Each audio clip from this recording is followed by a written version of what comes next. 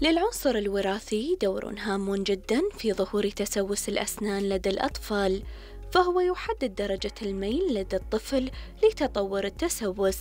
لكن مع ذلك يمكن التقليل بشكل كبير من فرصة تطور تسوس الأسنان بواسطة النظام الغذائي وعادات النظافة الصحية الصحيحة.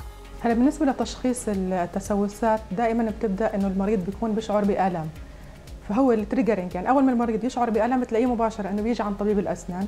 غالبا ما بيكون الألم مستمر غالبا بيكون مع الأكل والشرب. بعض الأحيان بوصل لمرحلة بصح المريض من النوم. فبيكون التشخيص بيجي المريض لابد من فحصه سريريا هون عندنا بالعيادة.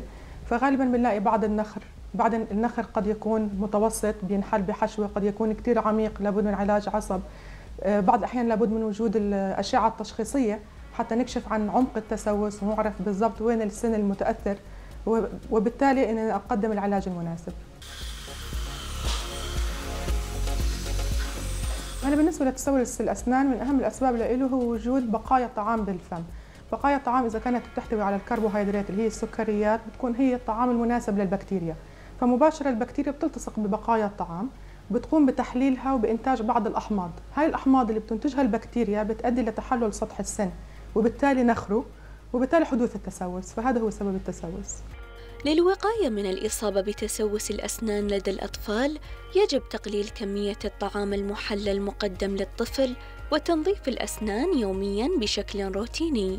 هلا بالنسبة لطرق علاج الأسنان هي نفسها الطريقة التقليدية اللي هي لابد من حفر السن وتنظيفه وحشوه. بعض الأحيان قد يكون إذا واصل على العصب لابد من علاج العصب. بس بعض الأحيان إذا ما كان لسه في نخر أو بداية بالنخر قد نلجأ للطرق اللي هي اللي بنسميها الوقائية مثل الفلورايد مثل ال fissure sealant اللي هي بتمنع التسوس. للحفاظ على أسنان طفلك من التسوس يجب مراجعة الطبيب من حين إلى آخر.